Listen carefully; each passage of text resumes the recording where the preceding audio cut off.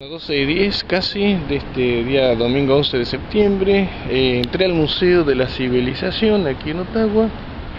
La entrada cuesta 13,65 dólares serían 12 más los impuestos o sea que no está marcado en el justamente en el este en el precio. Bueno vamos a empezar a recorrer acá se puede sacar fotos me dicen y demás ya los vamos a ver si se puede apreciar aquí.